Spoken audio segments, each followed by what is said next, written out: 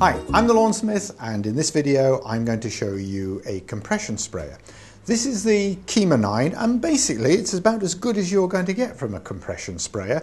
Great for spot spraying and for small lawns and for general use around the garden. Start off with I'm going to take off the lance, pop that down here and then there's also a, an extension for the lance clipped in there. Now this handle you can use for carrying but also it releases the piston. But we just unscrew that and that opens us up for the cylinder here. Now you can fill this up to the 6 litre mark. Gives you a 3 litre airspace at the top which you need to be able to get the pressure built up inside the cylinder. If you need to fill any more than 6 litres you really should be on a knapsack sprayer. So return the handle and the piston and then we turn that so that it unlocks and now we can pump and compress the whole thing. About 20 pumps is sufficient.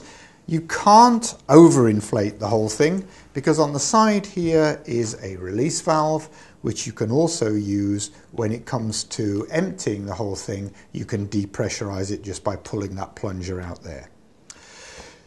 If you don't want to carry it on the handle, you've got a carrying strap which will go over the shoulder. And then down to the business end, we've got a nice long flexible hose. And we come then down to the handle, nice and comfortable trigger handle. We've got a pressure regulator here, which regulates the pressure coming out so that the spray is nice and consistent. There is an extension which will fit in here to the lance. So you've got a nice long lance there, good for fruit trees, hanging baskets, that sort of thing. At the end here we have an adjustable nozzle for spot spraying. So this is good for spot spraying weeds in the lawn and general spraying around the garden. The whole thing comes with a packet of spare nozzles and an adapter for various uses and available for all of the uh, these compression sprayers is a selection of spares, so basically this should last you a long time. That's the Kima 9 compression sprayer. Thanks for watching The Lawnsmith.